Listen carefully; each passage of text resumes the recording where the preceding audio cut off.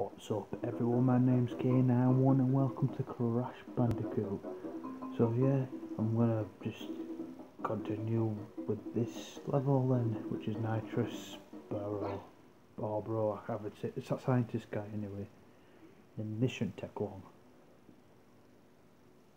Forgot what it's called.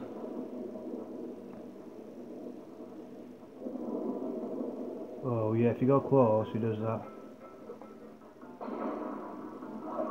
Yeah, when they jump, he throws his purple ones, so you have to avoid the purple ones.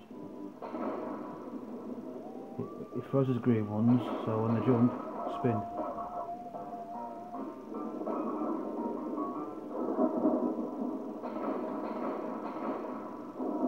So I think he's going to throw three more green ones.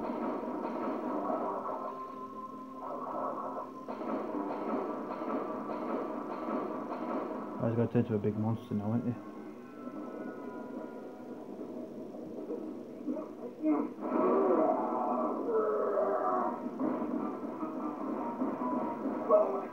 Oh. Supposed to on his head.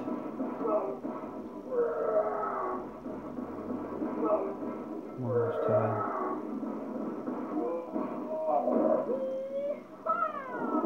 See, that wasn't even hard, was it, that level? Well, I'm supposed to jump on his the first time, but my, the controls are so stupid. So, yeah, I know it's been a short video again, but I'll have to call that a day, folks. So, yeah, my name's K91, and I will see you all in a bit. Bye.